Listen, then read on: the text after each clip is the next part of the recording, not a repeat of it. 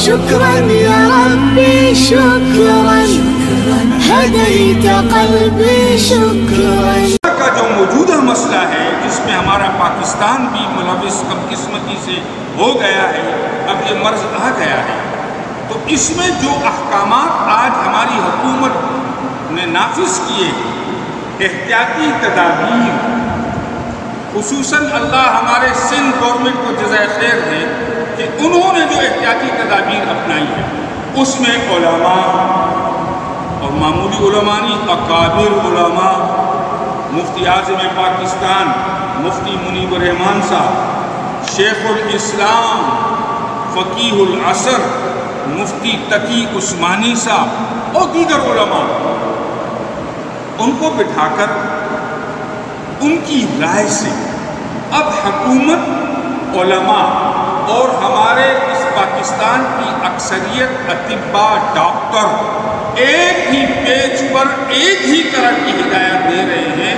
उन हिदायत को मानना, उन एहतियाती तदाबीर को तस्लीम करना, उन पर अमल करना, ये अब हमारे लिए इंतहाई ज़रूरी हो गया है।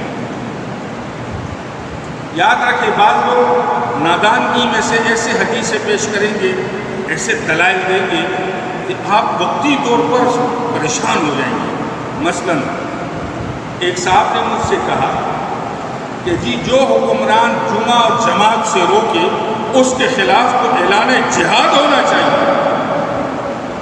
मैंने कहा, अहमक आदमी, हदीस मसला को सही पेश कर रहे हो, लेकिन इसके मायना और मफहूम क्या है? किस वक्त हमारे हुक्मरान, अल्हम्दुलिल्लाह मेजोरिटी अक्सरियत मुसलमानों की है, कुरान और सुन्नत को मानने वाले हैं।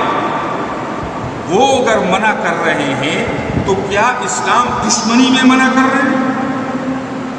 क्या ये उनका फिस्क फजूर जो आपको कहा जा रहा है, क्या ये एलानिया इस्लाम दुश्मनी पर है? नमाज़ और जमात और मसाजिद से दुश्मनी है?